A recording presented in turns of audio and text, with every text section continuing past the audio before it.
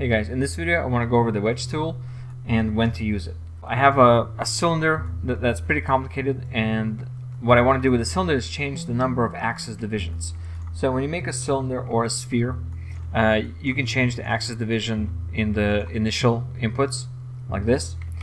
Uh, but as soon as you add some some edge loops this way, and then if you go back and try to add uh, axis divisions, you can see it breaks. So how do we uh, change these divisions after the fact? So for this, we can use the wedge tool. And the way I use this is like this. First, I'm going to select faces. And I'm going to select a half and delete. And the next part is a little weird.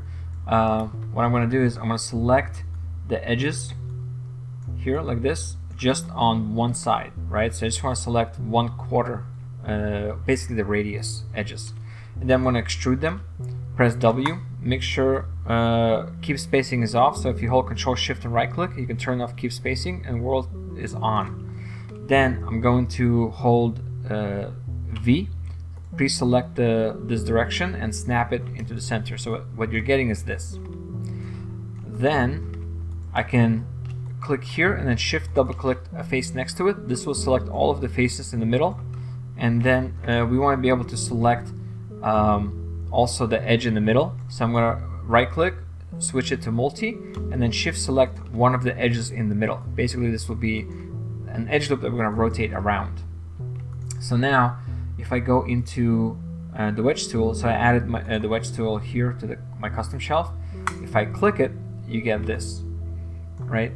And now what you can do is change the angle here and you can also change divisions. So I would keep it uh, something that's uh, even, right? You want an even number in here. And you also want to make sure that this this uh, edge here in the middle is for, uh, there's always an edge at 45 degrees. That will let you quad this easy next time.